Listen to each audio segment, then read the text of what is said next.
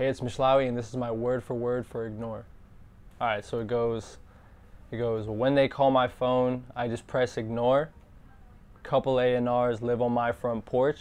They say that I'm almost on. I tell them I know. That's that's basically how the chorus goes, and then it goes it goes like that twice. Yeah, it was just like a playful thing on like the whole like getting signed or like the label type of type of thing about it. But it was I wrote this actually a while ago, like before I released it. I had that written for almost a year, and it was just like a funny thing about like A&R is on my front porch, like they're knocking at my door, like "Yo, we trying to sign you" type of thing. It's just like a it was just playful about that. Um, yeah, and so now the verse, right? So it goes. I say my circle full. They thought that I need them, but I'm cool taking my space up, they better move. Uh, Cause if it ain't this shit, what would I do? Yeah, it's just like it's just it's just like the same thing. It's just like my the pe- like the people around me. Uh, I have like my people around me. I have like my circle's full. Like I have my people around me, and I'm good with with those people. Like new people always coming in and coming out. Like when when you make music and stuff like that. And then it goes probably give it to her like she wanna. Hands up on her, make a jaw drop. Now the only time now the only time she run into me now when she run and come and give me nah nah. This was just like a reference to a my friend's song. He has a song that my friend Richie Campbell has a song called Heaven and the chorus is uh, there's a part that says baby run come give me nah and I thought it was funny like in in that song he actually referenced me so I just referenced him back. Um, what else man?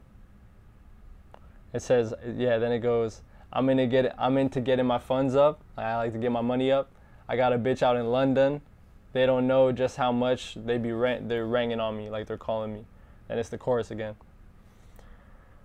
Then the second verse goes starts the same way. It goes my circle full. Thought that they were special, they confused. The truth is I don't think I'm much like you, yeah, yeah. I ain't no fool, yeah, yeah. I pay my dues on dues, now they can kiss my ass.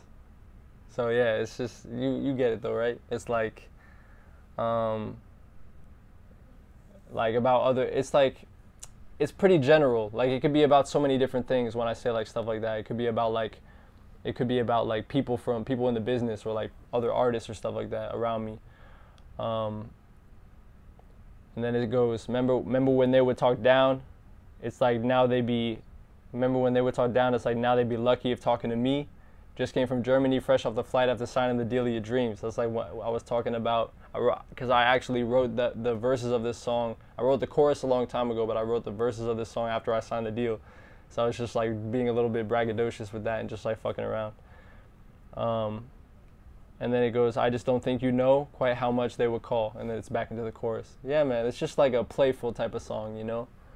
Um, and I just thought like the chorus was catchy and it was just kind of a fun subject and it's relatable. Like when they call my phone, I press ignore. It's just like a funny type of thing, like the decline. Like it just sounds funny, so I just like went with that. And then I play, and then I played a lot on the, on like the industry thing, the things, the thing about the labels, the thing about like other artists, the things about uh, competition, like all or like people talking to you more that you like do music or you have attention or that type of stuff. So yeah, that's basically what the song was about overall.